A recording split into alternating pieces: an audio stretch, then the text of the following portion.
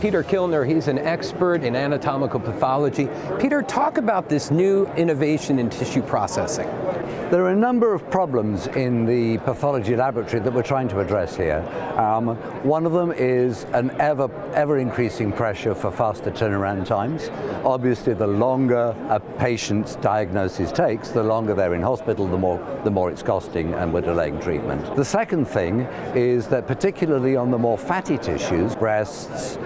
uh, colons, those types of tissues, uh, they have extended processing periods on traditional processors. So we've tried to address this with the Thermo Scientific STP420ES rotational agitation tissue processor. Basically what differentiates this from every other processor that's ever been manufactured is this rotation of the basket. So actually this works out to accelerating the flow of fluid across the tissue by a factor of seven.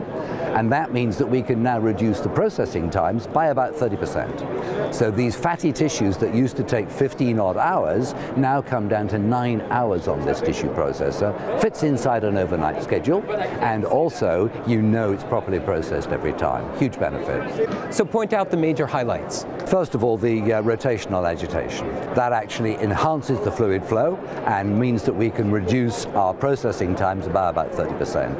The second issue is that we've got two independent chambers. They can be doing totally different programs using the same reagent set at the same time. So you've effectively doubled your workflow, you've doubled your flexibility because you could have your biopsies in this chamber, your fatty tissues in this chamber, and they're all properly processed at the same time.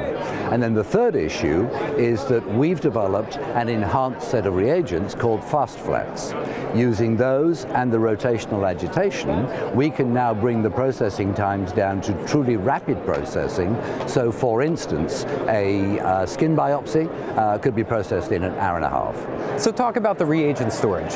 Now, on this instrument, of course, we have enough reagent bottles to store both the standard protocols and our FastFlex reagents. Therefore, at the touch of a button, you can select whether you want fast processing or standard processing.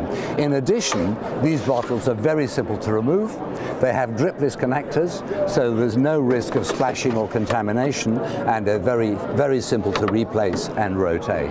And the software, what would you talk about the interface and how you can control the unit? Wonderful, uh, easy, easy to use interface for the user, all touchscreen, and it's very explicit in terms of the reagents, the programs, um, and on the two chambers. We can load an almost unlimited number of programs in here, and then all the operator does is choose the uh, chamber they want to use, the program that they want to run, and uh, press start.